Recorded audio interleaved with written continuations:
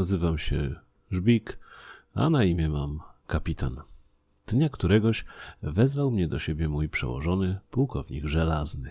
Na tymże spotkaniu Żelazny zlecił mi zajęcie się sprawą idącego przez nasz kraj ogromnego przemytu tzw. Tak twardych narkotyków. Uzbrojony w najnowsze zdobycze techniki policyjnej, czyli latarkę i teczkę raportówkę, udałem się na lotnisko Okęcie w Warszawie. Przez całą drogę, którą odbyłem tramwajem, zastanawiałem się, w jaki sposób następuje przemyt narkotyków przez nasz kraj na tak wielką skalę. W efekcie mojego zamyślenia zapomniałem zupełnie o skasowaniu biletu, co z kolei spowodowało uśmiech szczęścia na twarzach kontrolerów. Pozbawiony większej części mojej diety, dojechałem w końcu na lotnisko. Tuż przed odprawą celną podeszła do mnie babinka w chustce na głowie z prośbą o wyświadczenie jej uprzejmości i zabranie na pokład samolotu drobnej paczuszki dla jej głodującej wnuczki w Hamburgu. Nauczony na kursach policyjnych, że starszym należy pomagać, zgodziłem się na to ochoczo. Babcia rzeźko pogalopowała do sterty walizek leżących pod okienkiem z napisem informacja.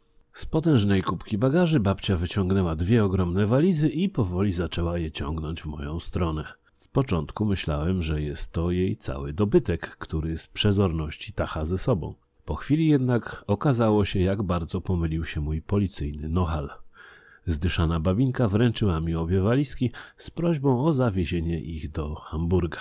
Nie wypadało mi już odmówić, choć bardzo ciążył mi mój przenośny akumulator plecakowy do latarki. Obwieszony jak muł, wpakowałem się na pokład samolotu. Podróż przebiegała bardzo spokojnie, może z wyjątkiem jednej próby uprowadzenia, zakończonej zresztą fiaskiem. Sprawca, uzbrojony w pistolet, pomylił drzwi kabiny pilotów z drzwiami do toalety i zatrzasnąwszy się w niej doleciał aż do samego Hamburga. Piszę ten list z więzienia w Niemczech, do którego dostałem się po udowodnieniu mi przemytu heroiny w walizkach poczciwej babinki.